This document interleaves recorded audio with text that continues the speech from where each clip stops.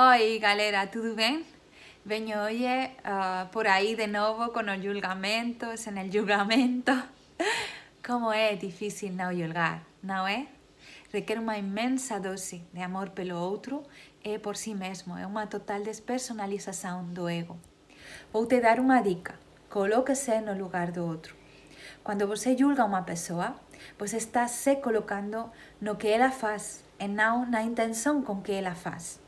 Quando você pensa em você e a partir de você, você sempre leva em consideração a intenção com a qual você eh, está a fazer o que está fazendo.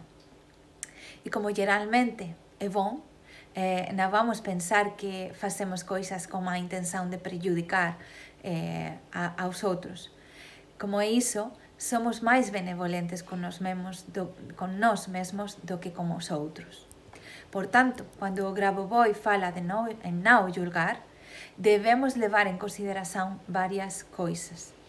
A primeira é que somos un e que eu faso o que eu faso eh, para dizer algo perjudicial sobre alguén e é julgar liso sobre eh, nosotros mes, sobre nós mesmos, desculpa, sobre nós mesmos. E a partir de aí, se somos todos un, eh, e você não faria algo com a intenção de prejudicar, por que acha que o seu vizinho faria? Coloque-se no lugar dele e pare para pensar. Foi tão ruim quanto uh, pensei e por isso merece uh, um julgamento tão, tão, tão forte?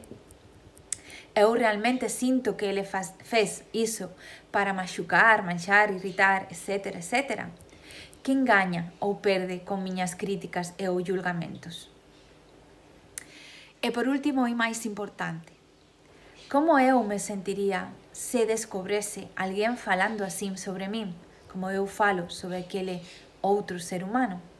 Se você fizer isso, provavelmente deixará de julgar aos outros e também será mais gentil e benevolente consigo mesmo. Deste lugar mais elevado da consciência, será mais fácil implementar nosso papel de criadores da realidade e trabalhar pela macro-salvação, desde nosso pequeno lugar no mundo. Não vou embora, é claro, sem deixar para vocês uma sequência que vocês já devem saber, mas o que acho que é verdadeiramente, é realmente importante. A sequência da macro salvação, que é 3, 1, 9, 8, 1, 7, 3, 1, 8. E como sempre deixo vos no final do vídeo para que possam ver e copiar sem problemas. Também lembro que você pode se inscrever neste canal e assim receberá todos os novos vídeos que fazemos todas as semanas. E claro, se você gostou, curte e compartilhe mas tamén se tiver algún comentario positivo que você acha que pode ajudar outros a pararen de julgar, por favor, compartille nos comentarios e todos seremos moito gratos con vocês. Até a próxima. A gente se vê. Tchau!